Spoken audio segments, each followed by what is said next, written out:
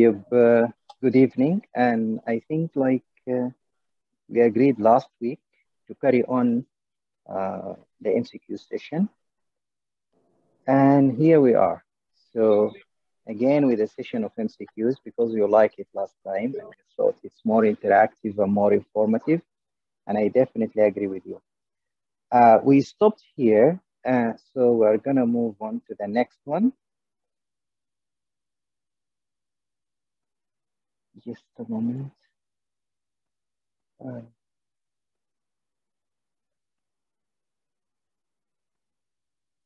oh yeah, okay.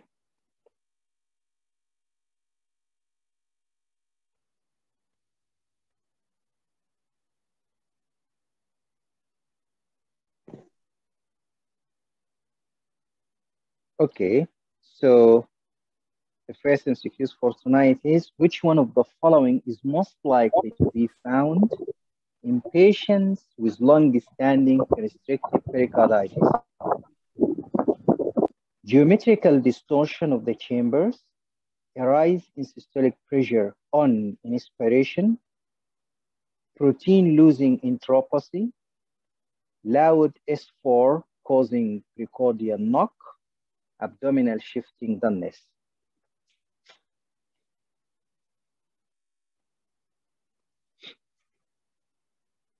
So what do you think is the right answer? Long-standing constrictive pericarditis. Uh, do we have geometrical distortion of the chamber in, in constrictive pericarditis? No. Uh, no, categorically is not true. Sometimes you can have geometrical distortion of the chamber and when you look at the heart, you will find that the waist, the heart is kind of wasted. The base of the heart is constricted and the chamber are elongated. So sometimes there is geometrical distortion of the chamber, but not always. A rise in systolic pressure on inspiration. Do we have this one? The reverse is true. The reverse is true. Okay protein losing enteropathy. Have you ever heard with about this in association with constrictive pericarditis? Yeah, it can happen. Yes, it can happen. Okay, but let's focus on the question. The most likely to be found, the most likely to be found in long-standing constrictive pericarditis. So we are left, I think, with uh, two right? You are left with two. Loud S4 causing precordial knock, abdominal shifting dullness. Uh, sorry, uh, anybody who is not speaking out, please just switch off the mic. So loud S4 causing precordial knock or abdominal shifting dullness. Uh, I will go with shifting dullness because uh, which is ascites, right? Yeah, long standing. Um, loud S4 causing pericardial knock. Okay. So, uh, I will go with the C. And also E. Muhammad, also, a lot of noises behind you. yes, there is a lot of noise. Yeah. Okay. So, uh, going with C. Muhammad, are you going with C? Protein. Muawiyah, Muawiyah going with E. Muawiyah going with C. Yeah, Uh, E, E. So, I'm going with ah, E. E. Okay, great. So ascites.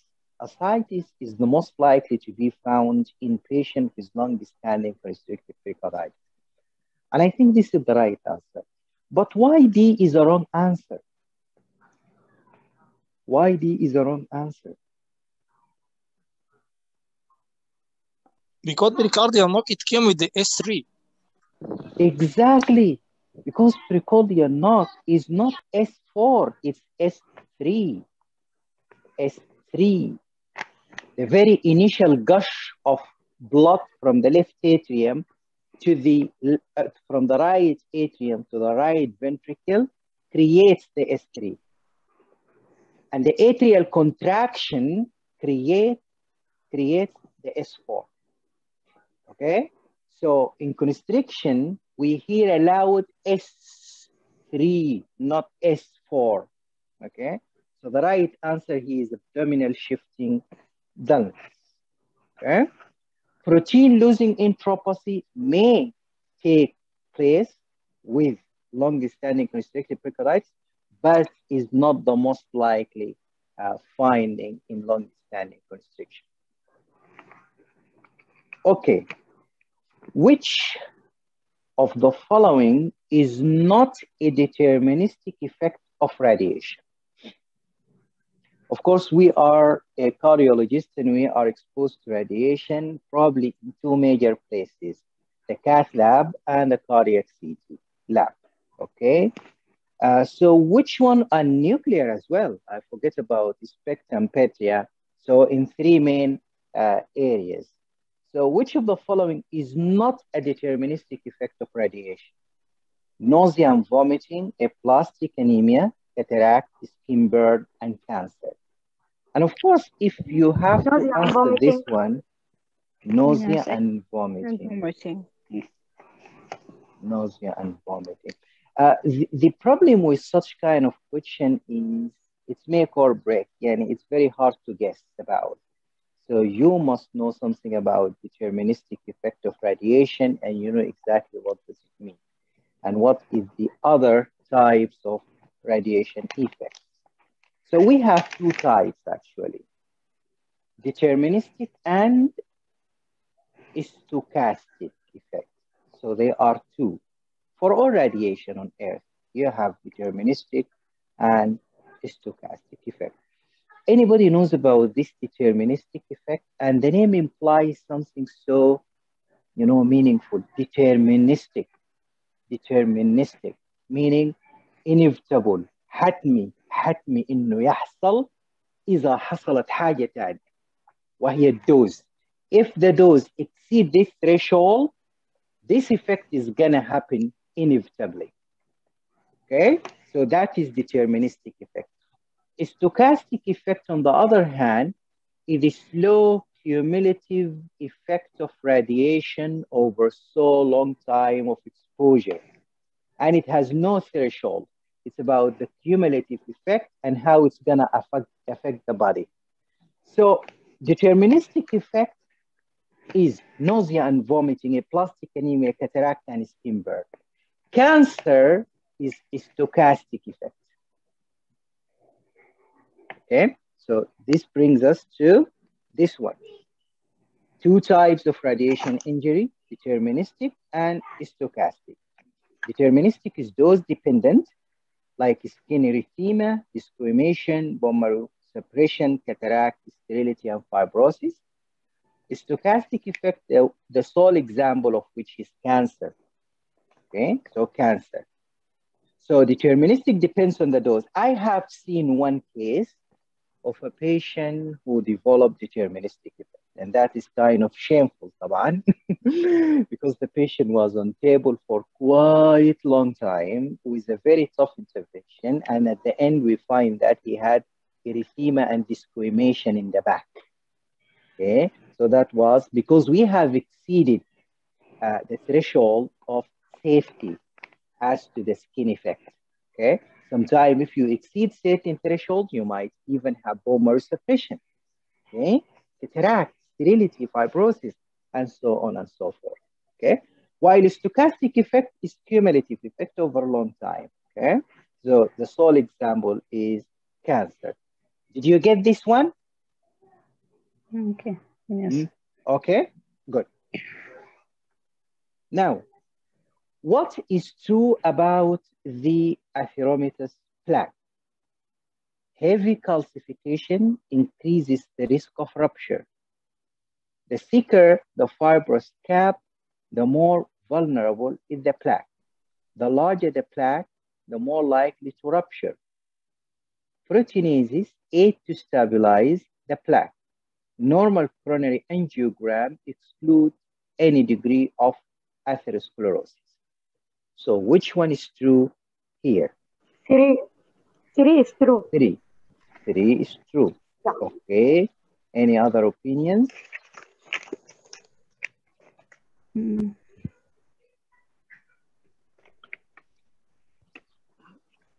Uh, we, as last time we discussed uh, every question individually. So uh, answer one, heavily calcification increase the risk of the rupture. It, it gives more, more stabilization of the plaque, which less risk of rupture. Huh? Okay. The thicker the fibrous cap, the more variable to is blood plaque. Uh, it's. I think it's wrong because it's thick, not the same. Okay, good. And Uh, proteinases? Yes, it it, it uh, seems to like be the skeleton of the black. It's more uh, uh, Exactly. yes, It causes more erosion and digestion of the matrix, so more vulnerability. These Yes. are enzymatic destruction of the matrix. yes, of stabilization. Okay. Yes. Good. What else? Uh, normal coronary angiography, it doesn't exclude any degree of atherosclerosis. Uh-huh. It's not an exclusion. Yes. Can you explain further? Uh, because there is, uh, it's a 2D, uh, it's not uh, inaccurate to know the degree of atherosclerosis. In two dimension, I mean.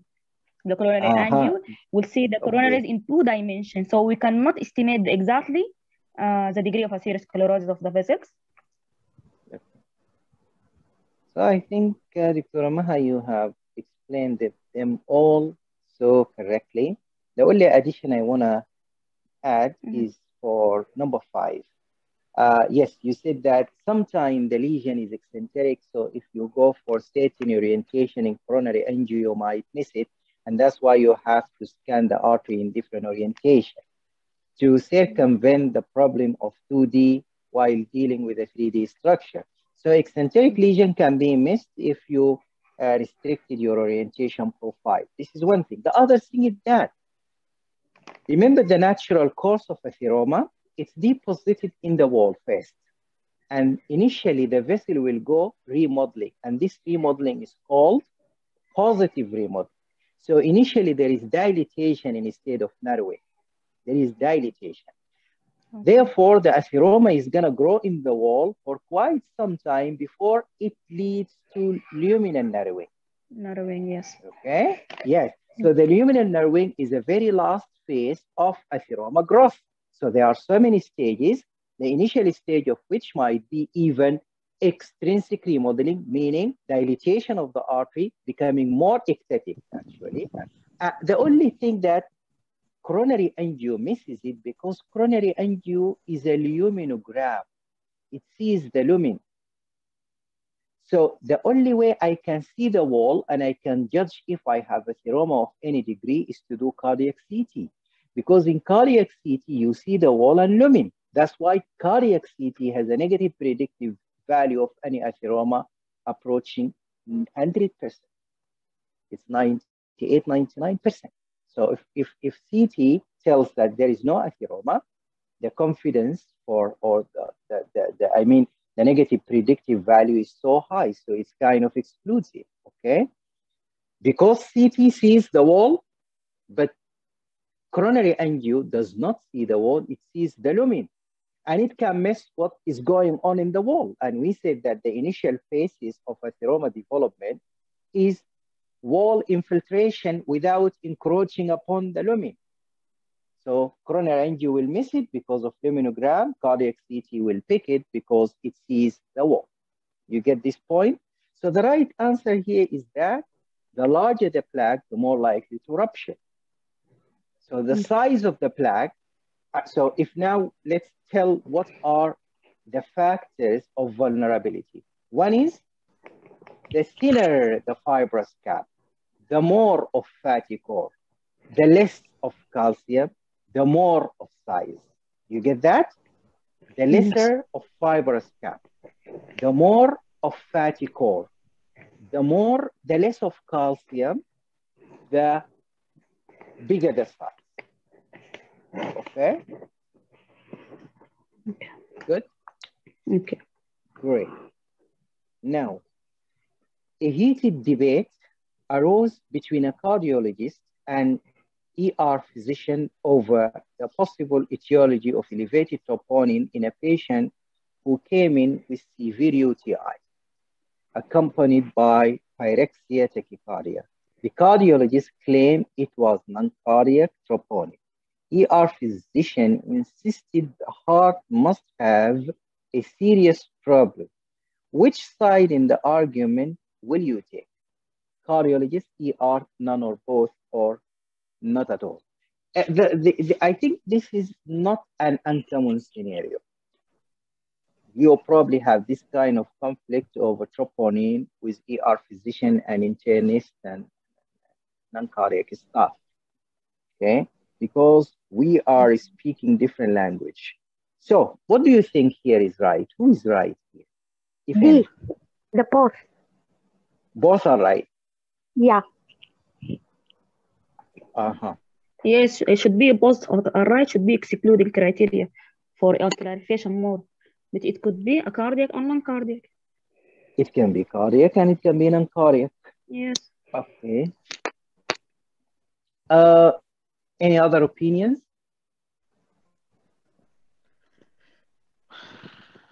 Uh, uh, here, Dr. Hatim, they don't mention which type of troponin. Uh, troponin Uh, T. think- Troponin T.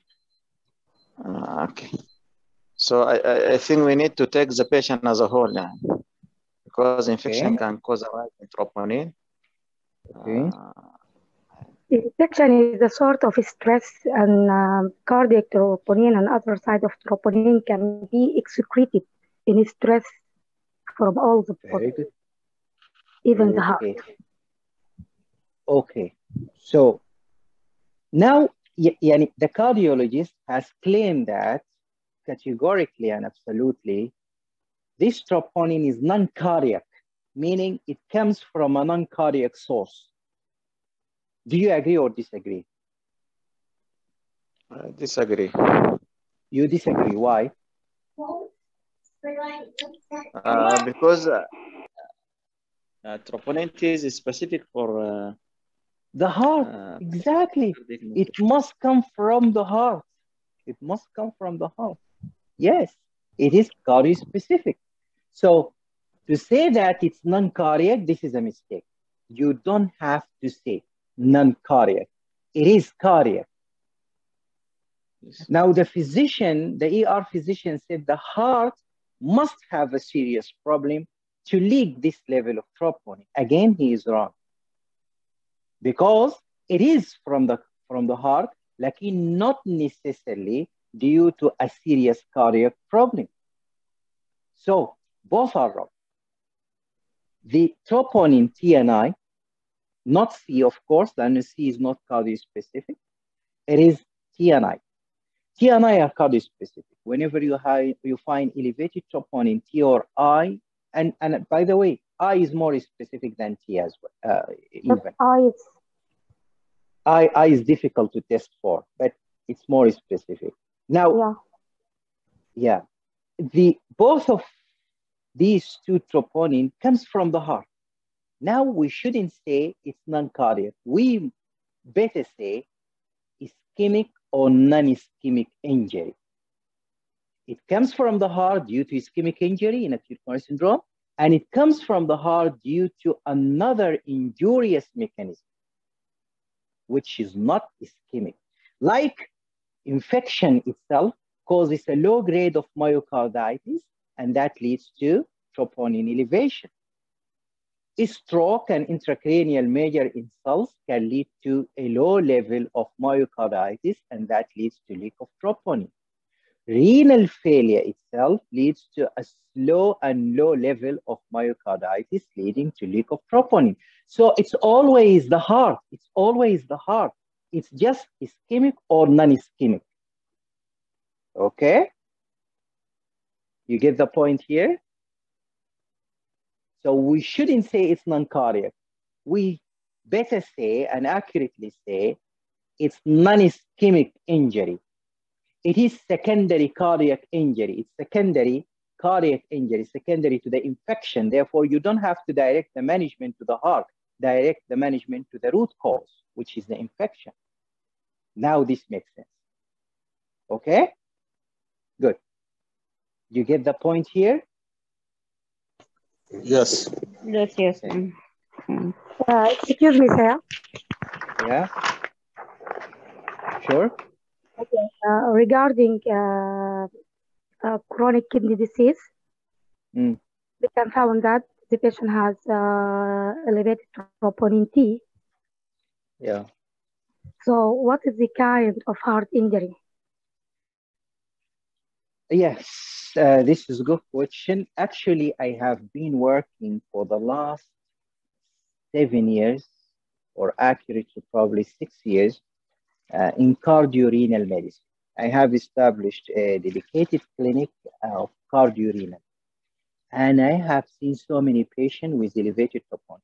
All of these patients are manifesting a low-grade myocarditis or pericarditis or myopericarditis. So if you have an elevated level of troponin in acute renal failure or chronic renal failure, the heart is affected somehow. But you cannot do anything. It's non-ischemic, so you are not going to intervene in any way. You are just going to control the, the renal failure and do whatever it takes there, and the troponin will improve.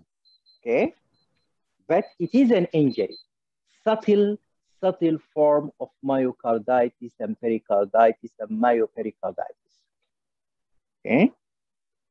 Okay. Sometimes it can lead to an overt uremic cardiomyopathy and cardiorenal syndrome type 1 and 2, you know. Yes, it can. It can. But when we see, or when I see elevated troponin with heart failure, I get worried because that means I have myocarditis or pericarditis on board. Though they are of low grade and probably long standing and stuff like that, but it's also prognostic. Yani patients with elevated troponin with chronic renal failure on dialysis are not like patients on chronic re- chronic renal failure or end stage renal disease on dialysis and normal troponin. They are never the same. Okay. So don't shrug off don't shrug off elevated troponin in all scenarios. You might have nothing to offer this patient, but remember, it's always from the heart and it's always a manifestation of some sort of injury to the heart muscle or pericardium. Okay, so this is a, uh, as you see here, um, this is vegetation with severe destruction and abscess formation in the aortomitral junction, what we Mm. call, uh, they call it sometimes intervalvular fibrosa. Okay, so um, abscess cavitation. Okay, I have seen a couple of patients when there is a fistulation as well. So when you have an abscess in the root, it might burst into the left atrium, forming a fistula. Okay, so it become aortoatrial fistula, aortoatrial fistula. Okay, I want you so much to remember one thing because this is crucially important. Any patient with aortic valve vegetation, like this patient, this is aortic valve. Okay, any patient with aortic valve vegetation, you should follow this patient by inflammatory markers, by clinical markers, but there is one important method of follow-up, which is, tell me. ECG for PR Thank prolongation. you so much. PR interval. Mm, Thank you so much. ECG. It's cheap Yes. and easy and informative. yes. If there is an abscess formation, it can be picked up from the ECG even prior to TEE.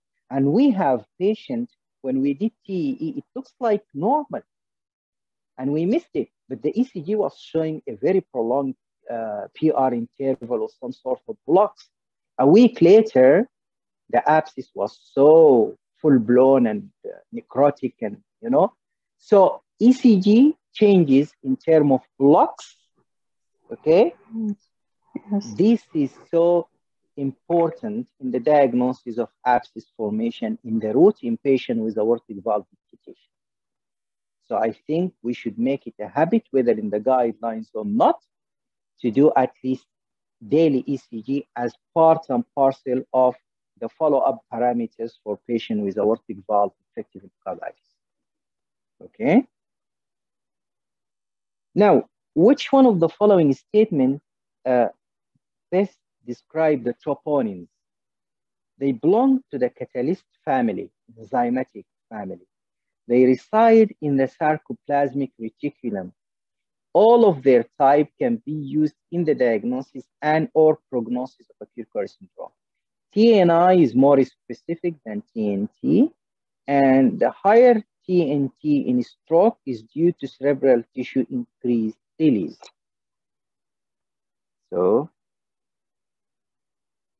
I think this is easier after we discuss the troponin, ER, I and think cardio. D, I D, think this is D. D is the right. D, Exactly. D. So why why A is wrong? Isn't it an enzyme? No, it is it's protein. It's a structural protein. protein. It's a structural protein. Exactly. Yes. The, are they in? Are they not in the sarcoplasmic reticulum? They are out. They are out. Exactly, they are in the-. They're in the cytosol. Yes, Uh, they belong to the in the contractile unit, actin and myosin and tropomyosin. Okay, yeah. they belong to this unit of actin, myosin, and tropomyosin. They are not in the sarcoplasmic reticulum. All of their type can be used in the diagnosis and prognosis of acute. Which type do we have? The most common is T, T and I. Uh, C. Exactly. So there are three types, T, I, and C, right? T, I, and C. We can use T, we can use uh, I, but not C. Why?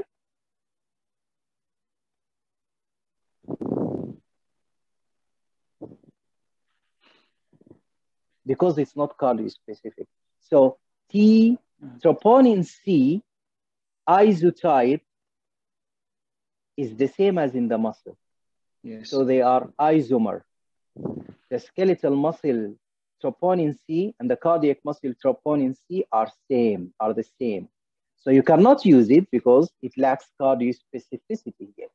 But troponin T and I are not present in the skeletal muscle. They are different types. So you can use this one. Now, what about E? If you, if, if I need you to correct this wrong statement,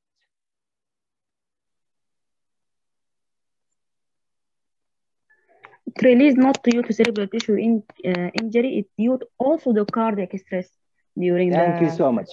Thank you. Yes. Exactly. So now we get it. It doesn't come from the brain, it comes from the heart, but this is a secondary cardiac injury due to this massive stroke. Okay, good. Well done.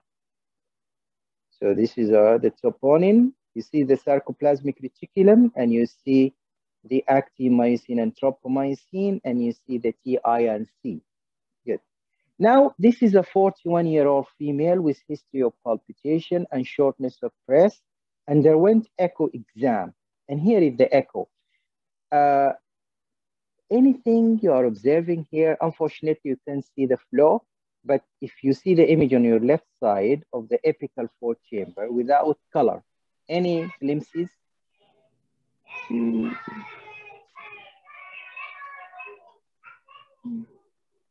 A, look at it, I'm zooming it in. I think there is an ASD in this patient. Uh, or you see the mitral valve, you see the left atrium, there is something Uh, Uh, Like a membrane, exactly like a membrane. So what is this? coat- coatrium. triatrium. Yeah? Yes, you see Core this one here? Exactly. Exactly. This is cor triatriatum. Okay. The question is still to come. Uh-huh. Sorry. Now, send for TEE. And here is the TEE. Now it's becoming so clear that this is cor triatriatum traversing the LA cavity into two parts. Good. Now cardiac CT again is done and I don't know why. And here is the membrane, which is so clear. Cor triatriatum. Now the question is, which complication of AF ablation will give you a similar hemodynamic effect? So the question is kind of acrobatic a little bit. Uh, which complication of AF ablation will give you a similar hemodynamic effect? Pulmonary vein stenosis, atrioesophageal fistula, left phrenic nerve injury, LA perforation, and preparatory effusion. So we need an AF ablation Uh, I will go with complication. A. Huh? I will go with A, pulmonary vein stenosis, because uh, one of Very the We Yeah, cannot, and we flow- cannot treat the pulmonary veins. Yeah, maybe. مهم. سوري يا دكتورة أظن كنت تقولي في حاجة. No, I'm with Muawiyah, as he said. Okay. There is uh, Yes. Yes. Mm. طيب how come pulmonary vein stenosis which is a known complication of AF ablation and the most feared complication actually why does it give similar hemodynamic effects like cor triatriatum? Uh, because of the flow, Dr. Hatim, the flow uh, mm the cotriatria- cotriatrium, the flow is uh, will be uh, uh, yeah, impeded, same like pulmonary stenosis. Very, very good, very good. So you know this will, uh, this is going to broaden our idea about mitral stenosis. So when we say mitral stenosis, that does not necessarily mean the mitral valve is stenotic. We can have a similar effect of mitral stenosis if we have the obstruction anyway along the path of blood that comes from the pulmonary veins into the LV. So if you have pulmonary stenosis, yes. If you have cor triatriatum, yes. If we have supra mitral ring, yes. And mm. if we have parachute mitral, yes. So look here, I'm gonna show you something. Yes. So if here, if you take this one, this is the left atrium, the obstruction can be at the level of the mitral valve. It can be down here, and this is called parachute mitral. It can be just at the annulus by a congenital ring, and this is called supramitral ring. It can be cor triatriatum, and it can be at the level of the pulmonary vein obstruction, like iatrogenic as a complication of AF ablation. Okay, so these are, see how many levels? One, two, three, four, Mm, five four. levels of obstruction. Mm. Five level of Yeah. obstruction. Five. Pulmonary vein, the cor triatriatum, the supramitral ring, the mitral valve itself, and the subvalvular apparatus like parachute mitral. All of which give typically similar picture like mitral stenosis. Okay? Good. So,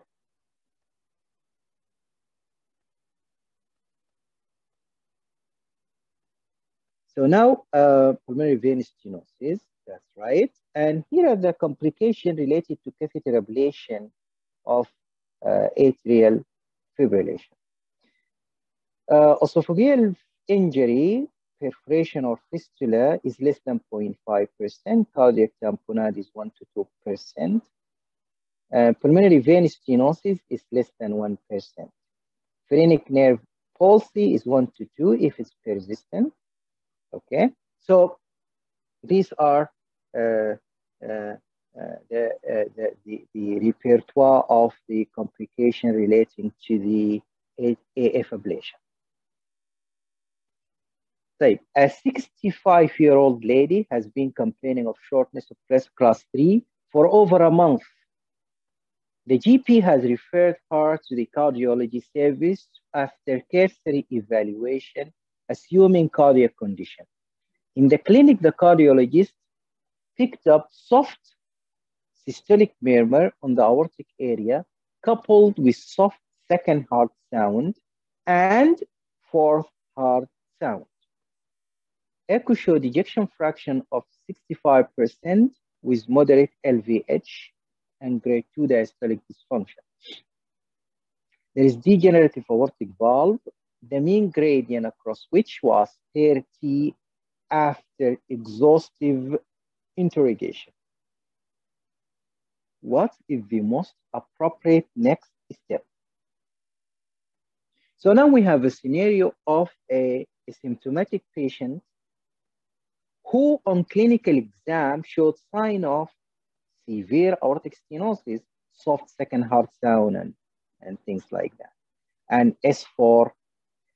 And on echo, the ejection fraction is normal, but there is advanced grade of diastolic dysfunction. There is moderate LVH and a mean grade degenerative aortic valve, but the mean gradient is falling short of severe aortic stenosis. So after exhaustive interrogation, so they have done right, parasternal, suprasternal, they have tilted patient left and right, and so they mm. did their best. So what are we gonna do now? Send the patient for AVR based on this data, which conform to severe symptomatic aortic stenosis, or invasive hemodynamic will most likely settle the discrepancy by disclosing higher gradient, order CCT to quantify aortic valve calcium score, calculate the stroke volume index by transthoracic echo, do TE for better visibility of the aortic valve for anatomical area measurement. Mm. I will go with the D. discrepancy Calculate between the stroke symptoms volume. providing or invasive. Calculate stroke volume index by transthoracic echo. If it is less than uh, 34 mil per uh, meter square, so this is low flow uh, severe aortic Okay. stenosis. Good, good, good, good. And how are we gonna calculate the stroke volume index? Uh, I will zoom the LVOT. Invasive hemodynamic. Uh, I will take the dimension of the LVOT Uh-huh. uh, multiplied by the uh, TVI of the LVOT. Uh-huh. Multiplied by, Uh, 11.785 multiplied Okay. by uh, D2 uh, square multiplied by the Very. TVI of the LVOT. that will be the stroke volume, right? That's the stroke Yes. volume. Now the stroke volume index is I will index it by the surface area the surface area, exactly. Yes, service area. So, exactly. So, what is the stroke volume index that will indicate this aortic stenosis is pathological? You said If it, the ya flow is more Muawiyah. than 34, uh, if the flow is more than 34 uh, mil per meter square, يعني الصدق So عملناها this 35 حتى 35 is fine uh, less Yes. than or equal than 35 ml per meter square that indicates low flow low flow despite normal Low flow. ejection fraction that's why it's called paradoxical yes. نقيض او حاجه غريبه لانه we have low flow despite normal ejection fraction that's why it's called paradoxical AS okay so if I find an stroke volume index equals to or less than 35 ml per meter square I might be dealing with paradoxical AS which is severe and the patient is symptomatic لكن يا اخوانا كل الاوبشنز دي are not categorically wrong. كل الاوبشن دي might be right. لكن the most one we usually do Invasive before the hemodynamic. patient, yeah, before the patient leaves uh, the, the echo lab is to measure the stroke volume index because this is an important uh, glimpse towards paradoxical uh, AS. Okay. Now, if you have paradoxical AS, sometimes the surgeon are not so convinced and they are not uh, with us in the same wavelength, and they, they insist that we need a solid proof of severity. In this case, you can do cardiac CT to see how much of calcium is stored in the valve. It's more than 1,500 for males and more than 1,200 for female. That indicates severity. Some people wish, wish to go for invasive hemodynamic, but invasive hemodynamic is unlikely to elicit higher gradient because of pressure recovery phenomena. So usually if you see, if you compare the gradient obtained in cath lab, the mean gradient obtained in cath lab versus the mean gradient in the echo lab, usually the one in the echo lab is or are higher, okay? But sometimes you can take the patient just like that because you have yani, what looks morphologically severe aortic stenosis and symptomatic patient. But the very right answer is to quantify the stroke volume index. Okay? Good. Now, we have a 74-year-old man seen for evaluation of exertional dyspnea. His symptoms began approximately two months ago and occurred during moderate or severe level of exertion. His past medical history includes hypertension, DVT 20 years ago, following knee surgery. Current medication are hydrochlorothiazide 25 daily, metoprolol 25 twice daily.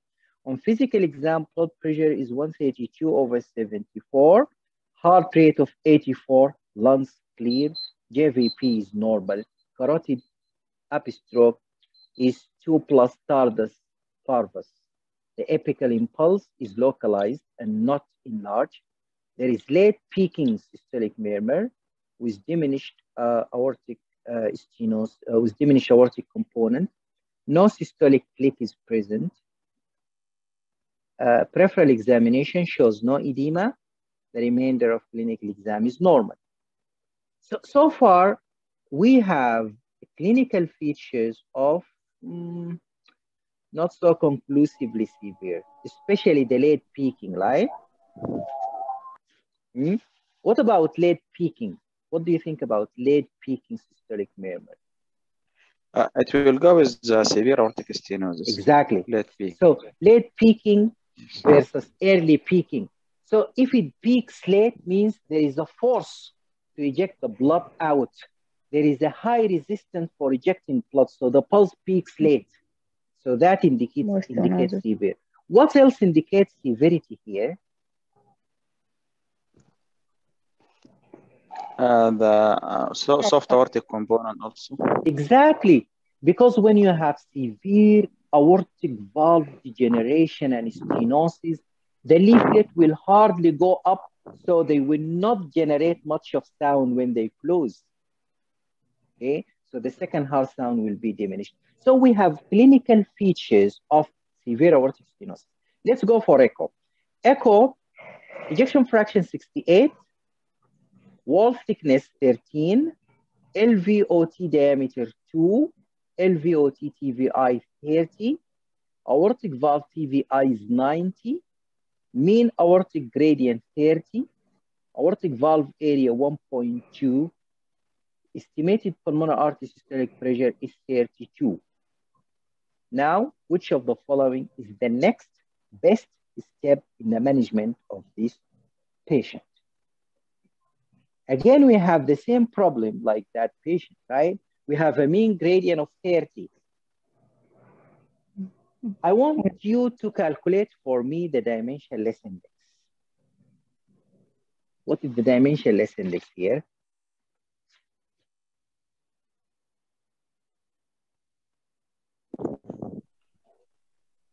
Uh, the LVOT uh, Mhm, TVI divided by the LVOT uh, of the aorta. mhm. How much is that? 30 over 90, right? Uh, yes. Right. Which اللي is هتطلع point 0.33. 0.3 ضرب فوليوم So- انت يا معاوية Uh-huh. نسترك فوليوم هنا Okay. ما تريد طيب, what is Point the three. stroke volume? فما- Let's calculate the stroke volume.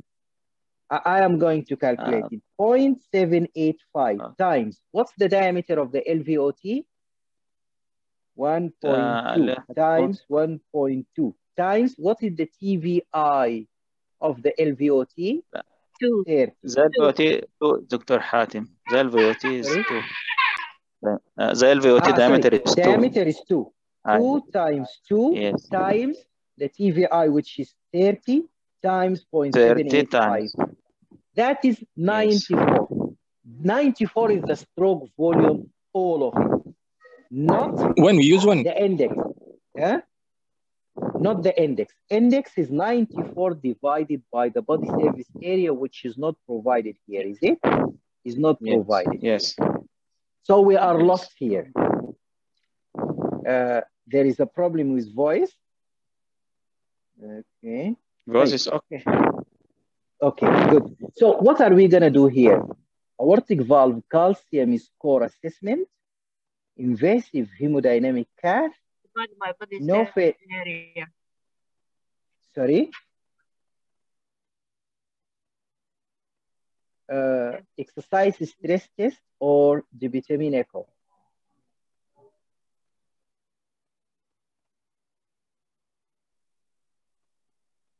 Mhm.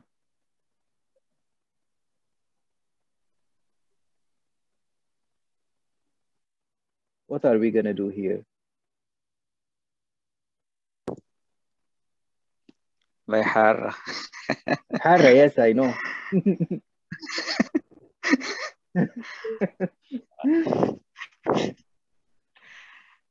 Our valve score is uh, calcium scoring A. Number one. Okay, number one. Uh -huh. But yeah, and you can go opinion? with uh, learning exercise. Exercise stress equal and vitamin we have a normal LV function uh, لكن we can go with exercise stress echocardiography and then we will calculate the parameters again yes with exercise Calculate what? We exercise him. Why should we do that? آه، عشان نشوف ال نشوف ال ال we will check for the mean gradient and we'll check for the pulmonary uh, arterial pressure also.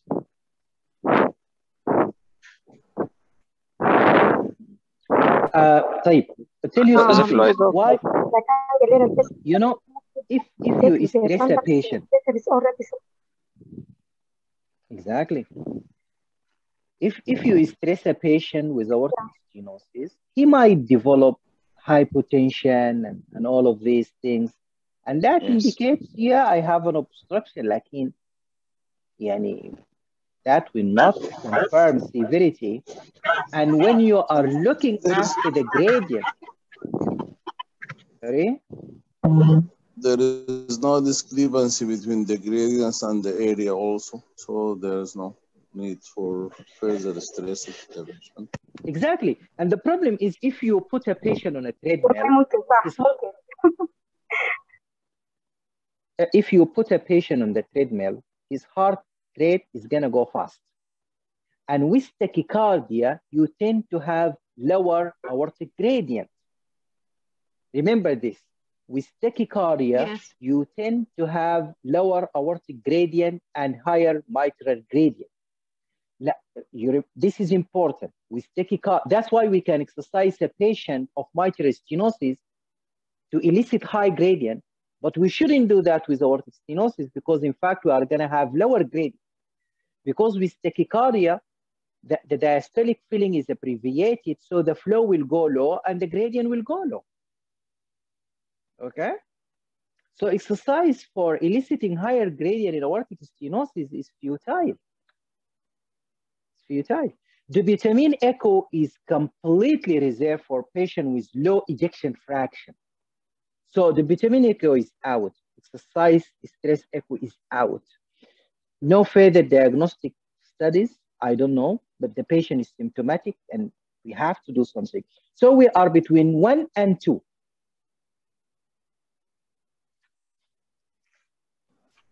هنمشي نون انفيديف احسن النون انفيديف بعدين نشوف الانفيديف Why with this, with this, with this age, By the way, you are not wrong. You are not wrong. Yeah. Uh-huh. Yes. with, with this, with this age, I طيب think الحمد uh, لله calcium score to rule out the sclerotic.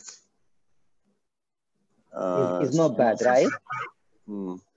is not bad. اوكي مع انه انت عارف المشكله شنو؟ المشكله يوجوالي مع السيفير لما يكون paradoxical and you have demonstrated low ejection fraction yes لكن انت عارف البيشنت دي الستروك فوليوم حقها 94 اوكي او Yes. البيشنت الميل ده ال- لو الستروك فوليوم لو قسمته على 2 مثلا حسبنا انه البادي سيرفيس اريا is 2 which is big one هيطلع 40 بلس ما عنده مشكله ستروك Yeah. فوليوم اوكي Yes. yes. يبقى is not paradoxical. So we are missing something here. Here is the time when you say, you know what? Probably the echo is not gonna get it. We have to see other modality, completely other modality, Yeah. and invasive hemodynamic is the way to go. In the invasive hemodynamic, they are gonna measure the stroke volume again, the maximum gradient and the mean gradient. And all these data are analyzed together to see what's going on. So this is an indication for invasive hemodynamics. Okay, when you are stuck between a symptomatic patient and an echo which is showing you moderate aortic stenosis, and which is not paradoxical. In this case, you just have to go invasive.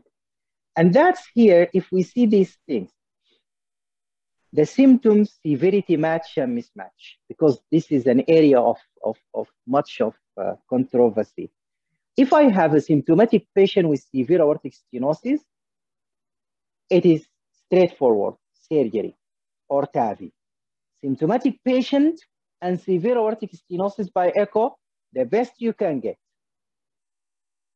Asymptomatic patient and moderate aortic stenosis by echo, again, I'm okay.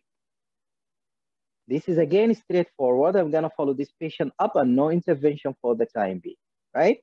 Now the problem comes when I have a mismatch, symptoms, severity mismatch. Like if the patient is symptomatic, but the echo fails to demonstrate severe aortic stenosis. Or if the patient is asymptomatic and the echo demonstrates severe and very severe aortic stenosis. Here is the problem. Now let's look for the first one. Patient is symptomatic and no severe aortic stenosis. In this case, the very first thing you do is to exclude paradoxical AS. If it's not paradoxical AS, you go for cath-based hemodynamics. Now, if a patient is asymptomatic, asymptomatic, but the echo is showing severe and very severe aortic stenosis, what are you gonna do? Please answer.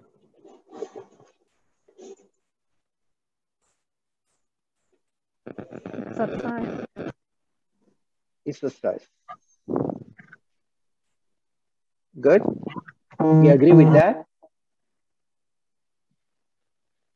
You agree with that? Uh, معلش دكتور حاتم symptomatic and not severe AS. Symptomatic, asymptomatic, but severe aortic stenosis. Asymptomatic. Uh, yeah, yeah, you can uh, you can do the exercise test. Yeah.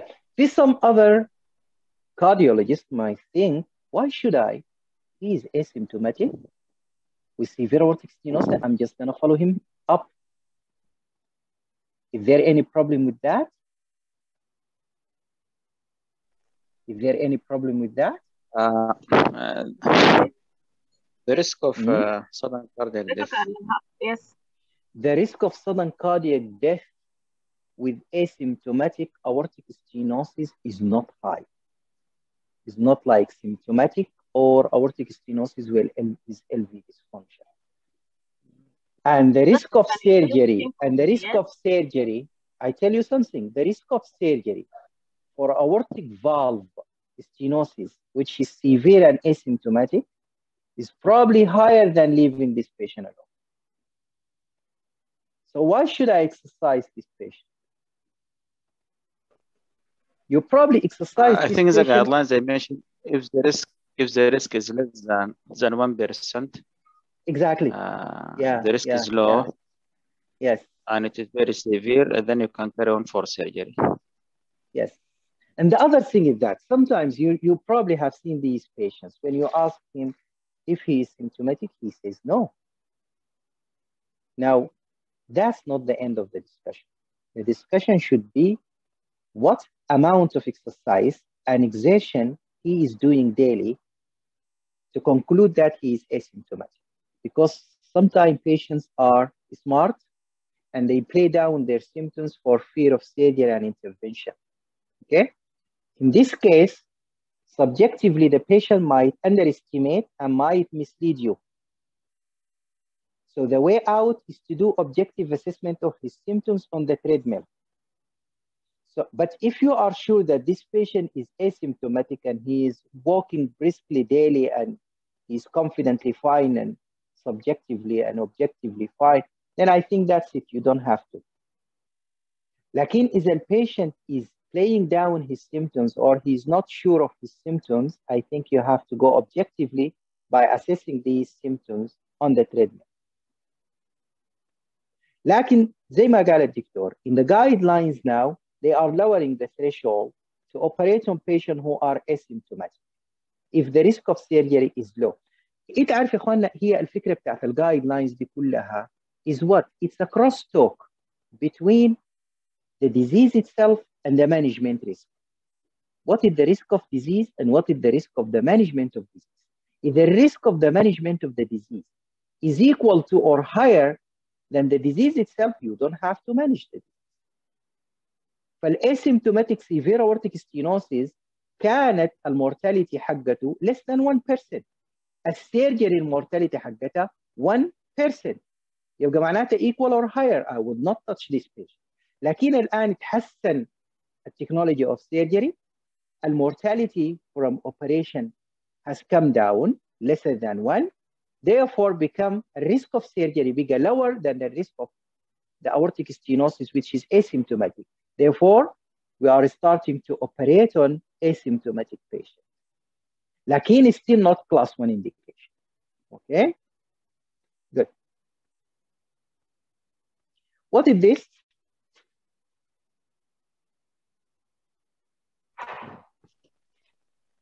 Uh, this metallic uh, valve. Yes. Uh, okay. yeah, formation. Pannus formation. So uh, معاوية معاوية you said pannus right? Uh, yes. I came from نصف حاجة بكده. That seems pannus formation is. Pannus. So can can mm-hmm. can you tell us about this pannus? What is it? Uh, layer هي overgrowth of the tissue around the valve. Okay. Uh, okay. And due to?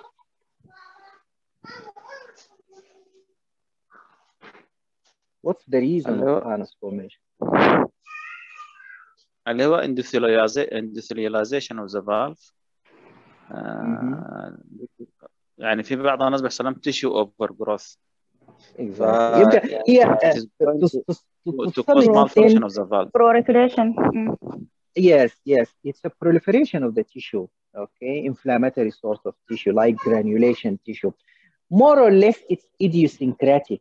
يعني ما في حاجة معينة تقدر تتنبأ بها. It's just like the keloid, you know, the scar. Some people forming big scars, some people are not.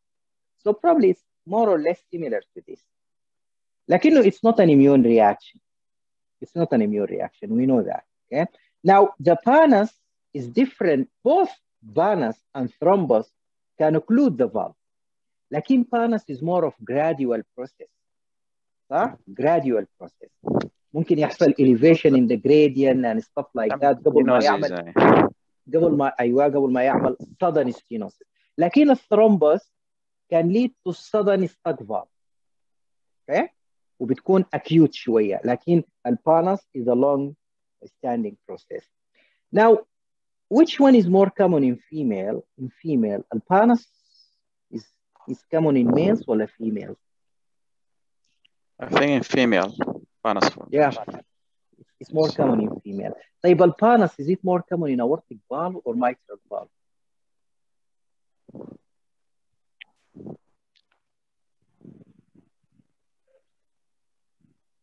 In the aortic valve.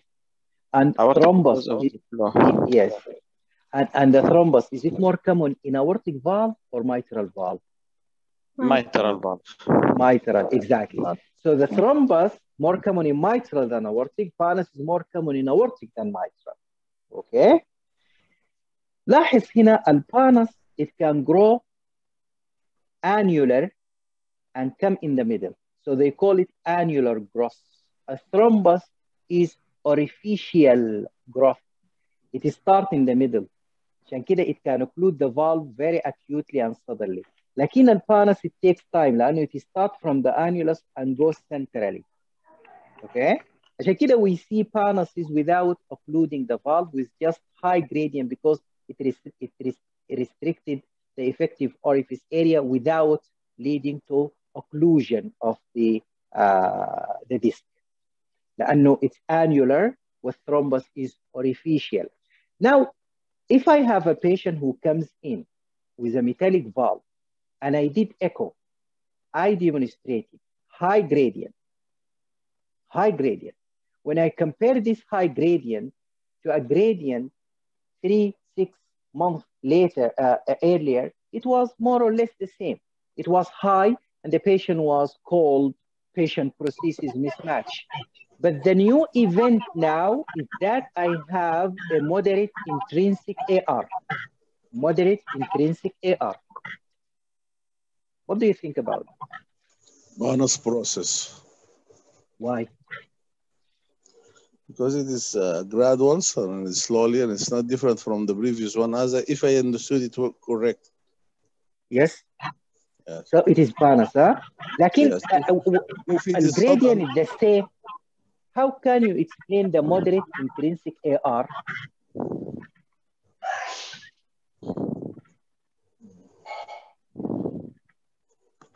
How can you explain the moderate intrinsic AR? I- I'm telling you a real story. We have a patient, I think middle age. The last echo was done three months earlier, and his mean gradient was 60. And the one before was 55 and stuff like that. When he came in, his mean gradient is again 60. But the new thing is that now we are seeing a moderate intrinsic AR. We are seeing moderate intrinsic AR. From where Prevent this moderate intrinsic? Huh? Prevent the valve closure. Exactly. Uh, Exactly. leaking. Yes. It is so alarming. It is so alarming when you see moderate intrinsic AR and a metallic valve. It means that the valve is stuck in opening position. It's stuck in opening position. That's why there is intrinsic AR. So even if you don't demonstrate high gradient, the AR itself is an indication of a stuck valve. Now, the, now we have taken this patient to to where you think It's operation room. not before the operation we needed to confirm EOE. Ground tracheal echo. Fluoroscopy. Fluoroscopy. fluoroscopy yeah yeah yeah we took him to fluoroscopy and the fluoroscopy was so lousy and it showed nothing. So what's the problem there? Can fluoroscopy miss stuck valve?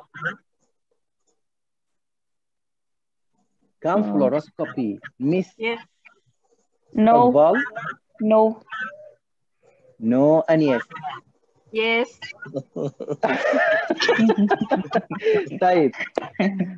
هيا دكتورة you said yes can you explain how Image can بتاعت fluoro الفلوروسكوبي it's also two two dimensional image يعني ممكن can be missed. okay great great But we usually we choose the the angle to see the opening of the valve, usually in the fluoro. So we have to be Yes. accurate.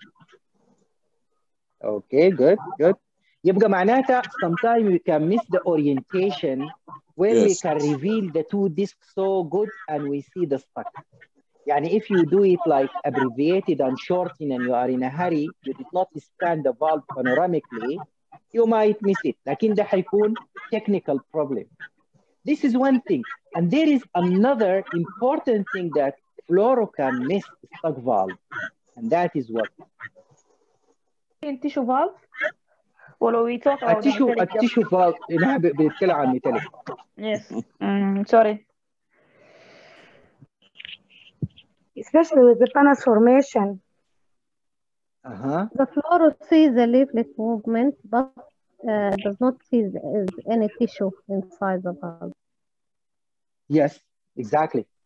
لكن دي برضو نحن ما بنفتش على انه الفلورو will, will show us the thrombus لكن we need to see if the, the, the, the disc Moving. is stuck ولا mobile. Yes. Mm. Sometimes, and I have done a patient, okay, there was, they have did fluoro and, and they reported fluoro, and I have seen fluoro by myself. It was quite normal. The range of opening and closure was normal. I did TE because the pa- patient is symptomatic and the gradient is sky high. And I found a very large thrombus. Lakin, guess what? The thrombus was so mobile. It goes in and out of, of the, the disc. It goes out and then in. So when I have done tracing by ECG, I find that like predictively, uh, the thrombus goes into the disc after the third, fourth beat, and it occluded the disc. Then it goes out of it, and the disc is mobile again. Then back into it, and so it was intermittent obstruction, intermittent. That is why fluoro can miss it if it's not long enough. That's why we tell our guys in the cath lab, please do long cine, five beats at least, because you can miss this intermittent obstruction. Okay, so fluoro can miss it if there is no adequate panoramic viewing of the valve and if the obstruction is intermittent. That's why you have to be sure in FluoroLab that you have scanned the valve in all directions and you have done a long cine to span at least five cardiac cycles. Okay? Good. Are you with me now? Yes. Yes. of course. Safe we have this 63 year old man present with fatigue, exertional dyspnea, nausea, and dizziness, and orthostatic, orthostatic hypotension. After his initial evaluation, transthoracic is obtained with representative images shown. Subsequent to this, a cardiac MRI with gadolinium is obtained with images shown. Based on these imaging studies, which of the following is most likely diagnosis? Now I'm going to show you the echo and the MRI. This is the echo, and here is the MRI. So what's the diagnosis? Amyloidosis. Amyloidosis. Amyloidosis. Why? Yeah. Why you were so There is confident? uh, Type in Uh, the in the uh, MRI there is uh, ring enhanced. Uh-huh. Uh, in the echo there is uh, hypertrophy. Uh-huh. The uh, um, concentric hypertrophy involving the posterior wall and the septum. Yeah. So the echo is showing the echo, yes, the echo is showing LVH with pericardial effusion and low voltage in the ECG, as you see, and glistening texture, all of which are suggestive but not diagnostic of amyloid. Lakin you were confident that the answer is amyloid based on MRI, right? Yeah. MRI is showing a very unique pattern, which is this global subendocardial hyperenhancement. Yes. It is almost pathognomonic of amyloid. Okay, so MRI is the diagnosis for amyloid. If, if I show you something here, which is so important, look at the pattern of delayed hyperenhancement in MRI. This is important. Delayed hyperenhancement pattern. There are different patterns and accordingly, different diagnosis. Now, ischemia tends to be like this one, subendocardial. This is ischemia, subendocardial. Why? Because we know that, you know, the ischemic front, the ischemic front, it goes from endocardium to epicardium. So the most part affected by the ischemia is the endocardium, then the myocardium, then the epicardium. Okay? That's why if I have ischemia, it will be subendocardium, like this one here. And sometime I can have transmural. And when I see transmural like this one, this indicates non-viability. If it involves more than 50% of the wall thickness, manata, the majority of the wall is, is necrotic and fibrotic. So it's non-viable, okay? Now, cardiomyopathies, by and large, leads to mid-wall or epicardial hyperenhancement. Mid-wall or epicardial. So you look at this one here. These are myocarditis. Generally speaking, they lead to mid-wall. Look at the mid-wall. Mid-wall hyperenhancement or epicardial hyperenhancement. Now, when we come to amyloid, amyloid look like ischemia in the location of the delayed hyperenhancement, but it's different from ischemia in the diffusibility of this pattern. So the pattern is involving the entire subendocardium, while ischemia is territorial. So whenever I see a delayed hyperenhancement that is located subendocardium, and that is global involving the entire subendocardium area, this is amyloid. Okay? So the pattern of delayed hyperenhancement gives indicators of diagnosis. Okay? So that's why MRI is becoming so important. Pulse wave Doppler of the hepatic vein. This is pulse wave Doppler of hepatic vein. Which of the following best describes the tricuspid regurgitation here?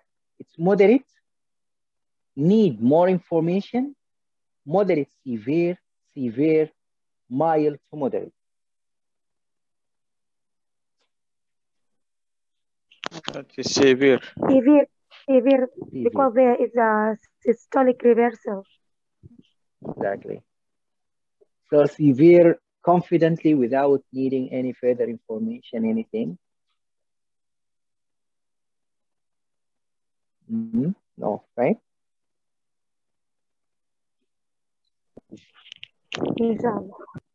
Without any further information. Yeah, I, I agree with you. As far as textbook and the commonality and, uh, is concerned, yes, whenever you have a systolic reversal in the hepatic venous Doppler, that means I have severe tricuspid regurgitation, severe enough to go all the way back into the liver. معناته it must be severe. So it is يعني it has gone beyond the boundaries of the right atrium, beyond the boundaries of the uh, IVC and SVC, and it goes into the liver. That must be severe. Therefore, it is severe. High positive predictive value. يعني شنو high positive predictive value؟ يعني إذا لقيت systolic reversal hepatic venous Doppler that is severe for sure. لكن if I don't find it that will not exclude severe لأنه مرات يكون severe لكنه not severe enough to go لحد الحتة ديك أو severe لكن الرايت atrium is so big لدرجة إنه قادر قادر to contain the jet without going back backward. لكن for my own surprise, I have two patients and I'm still negotiating with echocardiologists here. They have mild to moderate tricuspid regurgitation. One of them is mild, one of them is moderate only. And I have repeated echo twice or thrice. And they have systolic reversal. So I don't know why, and I'm still looking for an answer. لكن as far as يعني الظاهرة العامة إنه yes, once I have a systolic reversal in the hepatic venous Doppler, that is severe tricuspid regurgitation. Okay? طيب. Now I have this patient. Look at this patient. The images are of a patient who is dyspneic on mild exertion. His ejection fraction is normal. No other valve disease. Look at the aortic valve in the opening position. Look at the gradient across the aortic valve, which is reaching more than five. So it's probably 70 or something. So what is this? Send for AVR, reassure the patient, watchful waiting, repeat transthoracic or TE. So what do you think?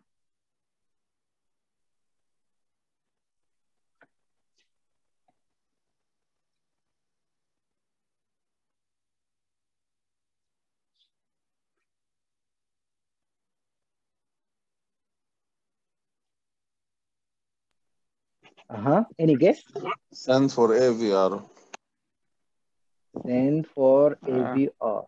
There is a gradient, but the valve itself uh, doesn't look like It is- stenotic. That- Stenotic that's, is the that's the opening is good. Yeah, Mm. exactly.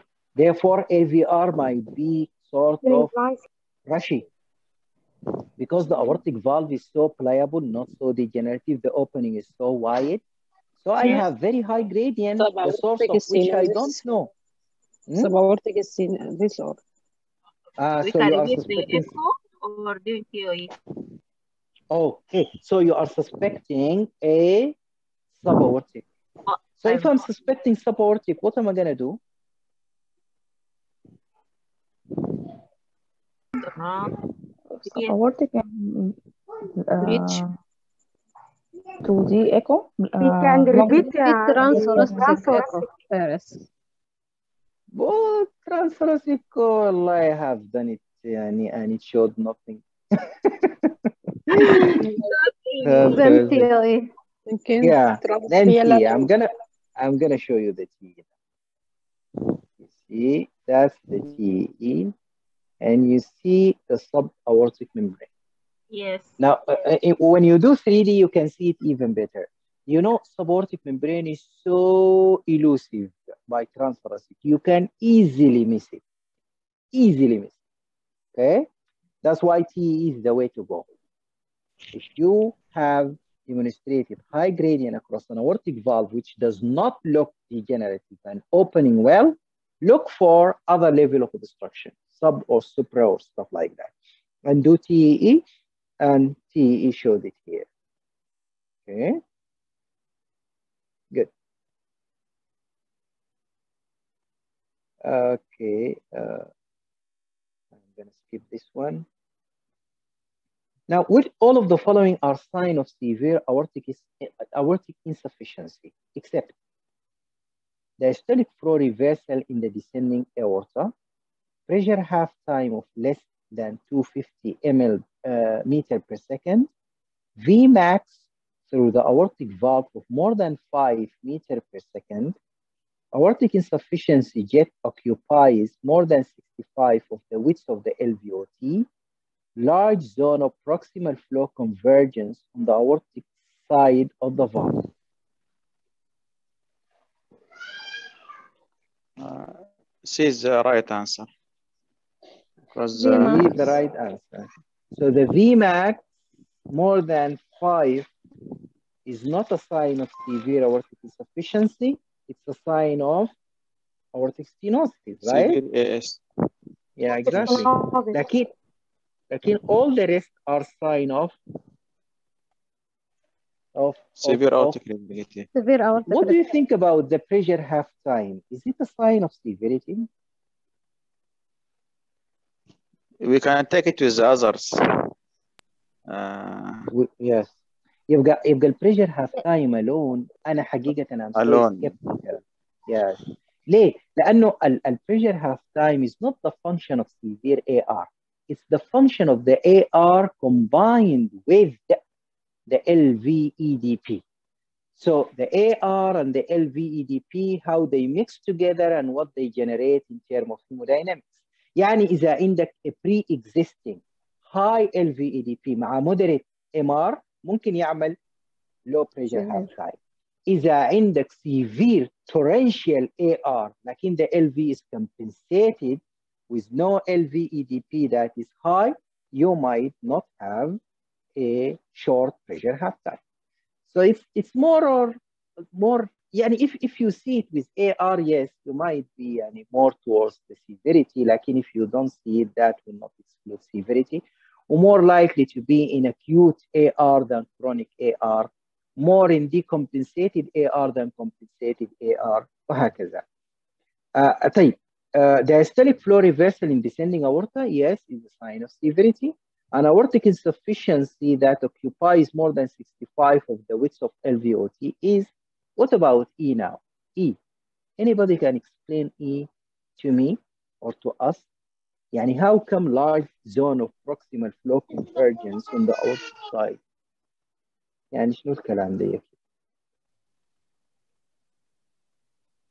دي زي البيزا ايوه Pizza, زي it is a- exactly. exactly. آه. Yes. يعني مثلا الآن إذا أنا عندي تخيل إنه this is the aortic part. Okay. The AR is coming this way. The aorta is here. The LV is here. This is the aorta. The AR is coming here for in this direction. If I have a convergence like this before the jet goes this way, or if I have a convergence like this, which one you think is most severe? The more of convergence, the more large one. severe. Yeah. يعني الآن مثلا تخيل إنه عندك مثلا الباث طب أو أو مثلا السينك في السينك العادي بتاع الموية اللي هو الهول بتاع الموية إذا نزلت موية بسيطة تلاقيها اختفت على طول. إذا نزلت موية كثيرة جدا بتلاحظ إنه بقى في circles around the hole before it goes in. والسيركل السيركمفرنس حقها is proportional to the amount of water you put in that sink. يبقى كل ما الفلو convergence yeah, كل ما معناتها ال AR آه درجته عالية okay the same applies to MR the same applies to TR كلها regurgitation line الآن إذا أنا أخذت الجيت طلعته برا شكله حيكون كالآتي أي أي regurgitation jet usually it has flow convergence neck and jet بودي like this النك اسمها الفينا كونتراكتا ده اسمها الفينا كونتراكت ده اسمه الفلو كونفرجنس وده اسمه الجيت ريجرجتن أيوة. ريجرجتن جيت يس طيب الآن في الكوانتيفيكيشن اوف ريجرجتيشن وي هاف ميجرز ريليتنج للفلو كونفيرجنس اللي هي البيزا وي هاف ميجرز ريليتنج للنك which is the vena contractor and we have measures which relating to jet which is the jet diameter ratio jet area jet length jet weight وهكذا صح؟ Yes. لاحظ معي في حاجة مهمة جدا. The more you go in this direction, the more you lose the accuracy of evaluation. يعني if إذا اعتمدت على البيزا هتكون more accurate than the vena contracta والفينا contracta is more accurate than the jet. ليه؟ لأنه كل ما أنت دخلت لجوا الموضوع بقى ما موضوع الريجرجيتيشن بقى موضوع الريسيفنج تشامبر and how it behaves against this jet يبقى بالتالي كل ما انت حصرت الكوانتيفيكيشن حقك في الاوريجن اوف ذا جيت you will be more accurate. يبقى البيزا is more accurate than the vena contracta and the vena contracta is more accurate than the jet quantification. لكن نحن ما بنستعمل البيزا لسبب بسيط إنه الكالكوليشن حقتها difficult شوية. لذلك بنعتمد على الفينا كونتراكت اوكي فرemember this remember the jet anatomy the three component of the jet and the quantification rela relating to each part of the jet okay good i think uh what time is it now we are probably having time to take only one okay now a patient following mitral valve replacement with St. Jude prosthesis has a high peak transmitral gradient with a normal pressure half time. And no significant MR is seen by color Doppler. This may indicate which of the following. Prosthetic mitral stenosis, significant occult MR shadowed by the prosthesis, the presence of SAM, ischemia, significant aortic insufficiency.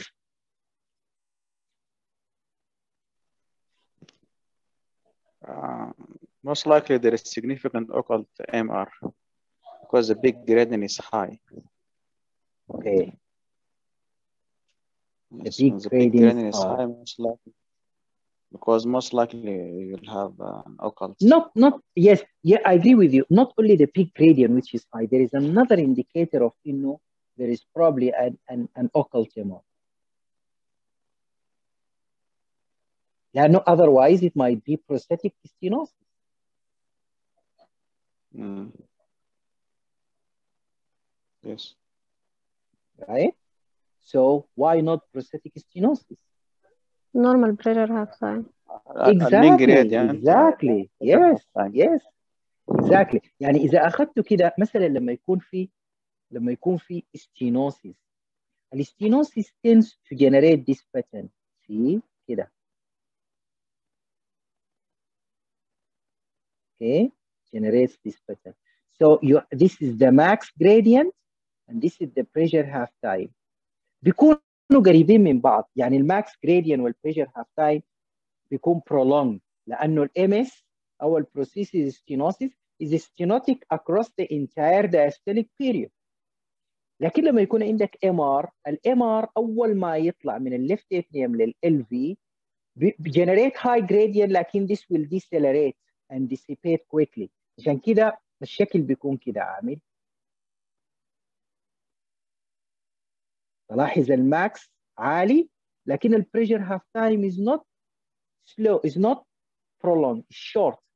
لأنه الام ار just affect the initial flow فقط. الام اس affect the entire diastolic flow يبقى لما يكون عندي high peak ونورمال mean or pressure half time it is more of MR لما يكون عندي MS it affects both equally okay يبقى anytime I see a very high max gradient out of proportion to the mean or pressure half time I think you must and you should suspect paravalvular leak paravalvular leak okay and why should I suspect paravalvular leak يعني ليه ما اشوفه بالترانسراسيك وخلاص يعني يعني الترانسراسيك والمس paravalvular leak للدرجه دي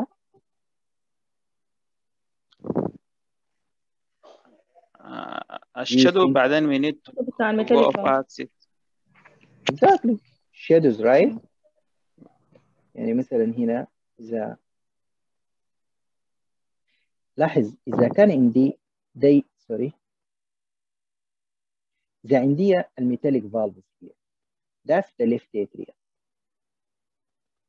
okay the ultrasound is coming this way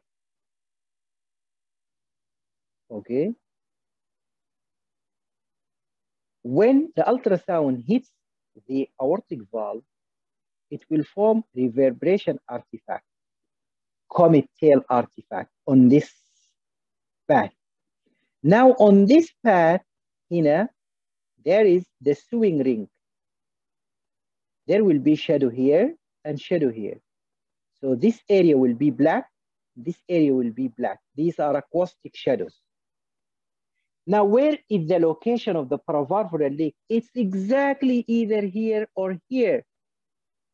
so they are shadowed by the acoustic shadows لأنه these are black holes the ultrasound did not penetrate there because of acoustic shadowing بالتالي إذا عندك MR here or here you tend to miss it okay now TE TE هيحسن الوضع كيف يعني تي هيحسنها لنا كيف م? آه، مقلوبة لأنه ال ال LA بتكون أيوة. near the exactly upside. exactly يعني في التي اي you are going to see it this way الهارت you will see it كده standing on its feet right so the metallic valve is here the ultrasound come this way the shadows are formed here in the LV and the left atrium is now without shadows so I can see if I have a valvular leak here or here يبقى بالتالي whenever you are suspecting paravalvular leak, you go for TE. Okay? So in Uh, this second, case, uh, huh? Sorry?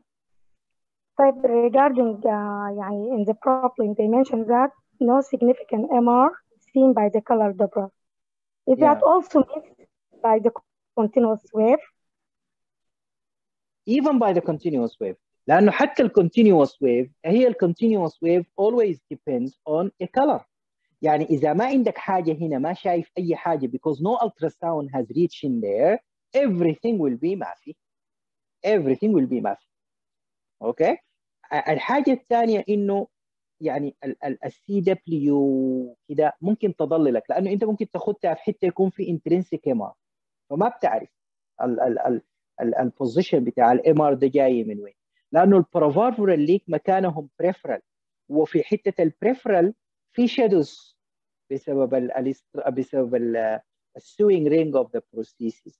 بالتالي you don't see anything there. لكن sometimes sometimes we do some non-conventional viewing trying to orientate الشادوز a little bit away عايزه technical skills شوية وممكن تشوف الجت شوية لكن حتى لما تشوفه ما بتقدر تكوانتيفاي لأنه ما بتكون شايفه بشكل واضح زي ما حتشوفه في التي اي لكن at least you can diagnose it by transthoracic echo اذا كان عندك skills enough انك انت sway the shadow away from the periphery.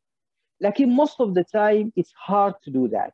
Therefore, if a patient is having clinical suspicion of paravalvular leak, or he has hemolysis, or you have demonstrated high peak and normal mean, I think you better go for TA.